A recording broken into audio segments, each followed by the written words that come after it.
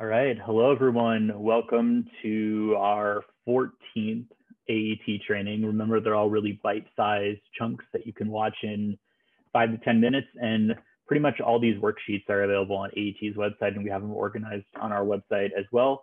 Um, but this session is on POAs and kind of providing feedback to future teams.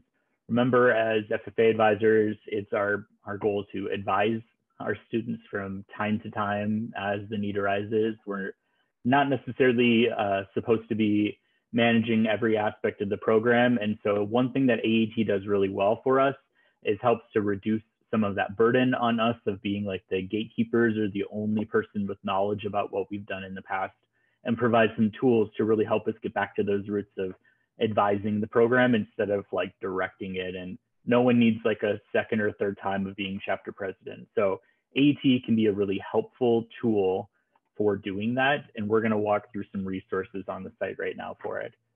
So um, this is our website. Remember, it's got all the videos that we've done in the past and worksheets and quizzes. This is an optional session. The only thing that was required this year was for you to complete your teacher profile info.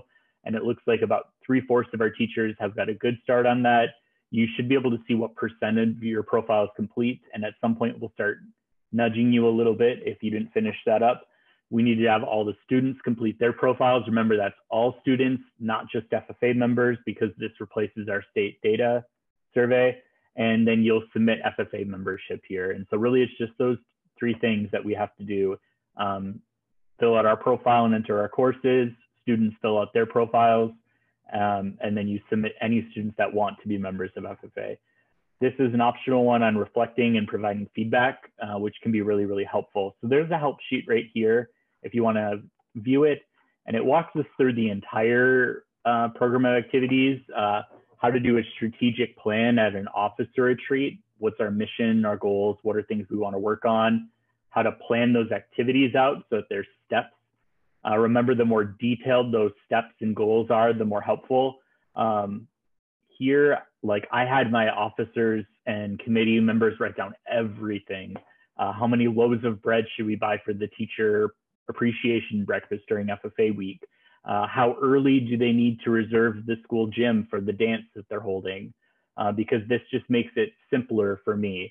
And then we would run through these checklist items during our officer meetings to make sure we're done.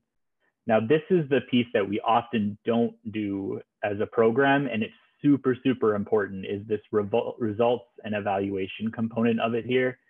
These pieces with the blue ribbon are attached to the National Chapter Award. Just like this award program can export a state degree or a proficiency award, it can also export uh, your National Chapter Award. So you don't necessarily need to do these if you're not planning to complete that award and they can be a little bit specific in what they're asking for, which might not be very useful for every single event program. Uh, but if you click on this results tab, there are some questions that are really helpful here, and they say optional, but it's called accomplishments and recommendations. And so after every single event that we did as a chapter, we would sit down with our officers and committee chairs and members who are part of it and write feedback to the next year's team. So during that teacher breakfast, one year the students decided that they were going to make the French toast the night before, like make the batter up and let the bread soak so that in the morning they just had to put it in the oven and it would be good to go. That saved them a lot of time. Now, they also thought it was a good idea to try cooking all the bacon in a separate room because it got like they were nervous there wasn't enough space. So they opened up this little storage closet and cooked it in there. Well, they ended up smoking themselves out and almost setting off the fire alarm. So they made a recommendation for next year that you need to cook the bacon and sausage outside. Uh, but that cooking the, you know, the French toast the night before was a really good idea. So provide recommendations for next year's team on how they can do better and um, talk about the good things that happened too. Now, I say this is, is super important because we want our teams, like I always told my officers, think about it. How well did the past team set you up for success? Or even us as ag teachers could think about this. How well did the teacher before us at our job set us up for success to come in? Was it a, a nightmare with a million file cabinets and nothing was organized? Or were there easy lesson plans to follow and the, the place is clean and organized and you, you knew what you were supposed to be doing? the better we can set that team up for success, the easier it's going to be for them. And so I got my officers in the habit of really taking some time to reflect on each event um, because every year we got a little bit better, and every year my job also got a lot easier too. And so the, this is one of the best things about AET. And so instead of it being this binder that they pass down year to year and it's got all the stuff in it that no one understands, and sometimes it gets lost and you have to start over, this becomes one of the best parts of AET. So on the calendar, you can find the goals that they wanted to complete, like we wanted 100 students to attend our dance. You can find all the details and the steps that you needed to accomplish and then you can find the results section where you can reflect on it. And this makes managing a program really easy. The other nice thing is you can actually copy your calendar from year to year. And the state, Lavin Rada has already put in all of your state events. And as the region set their calendars, she puts the region events into the region calendars. So chances are at least half of your events are already in your calendar for you, which makes it a lot easier to manage this. So for this one, it's just really simple on providing feedback to future teams and taking that time to reflect.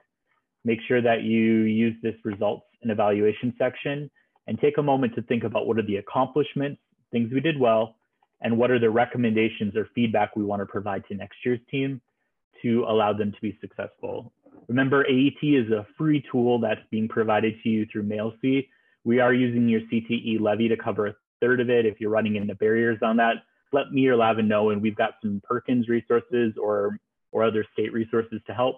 Um, but we hope that you continue to find use in the tool and that it makes your job easier, especially during these difficult times. If there's something you need help with, please reach out to me, Lavin, Julia, Denny, or anyone else on state staff. Thank you, and we hope you're having a great day.